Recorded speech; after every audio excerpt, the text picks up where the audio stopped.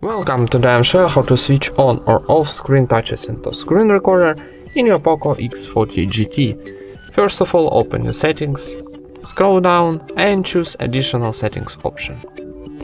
Here go into screen recorder and then on the bottom we got show button taps and show touch gestures. So uh, if you wanna activate these two options, need tap uh, on the switcher and this position like blue it's activate this option. For example now I'm activate show button taps uh, and not activated sh show touch gestures so. And you can customize your show gestures and that's it. Thank you for watching. Leave thumbs ups and subscribe to our channel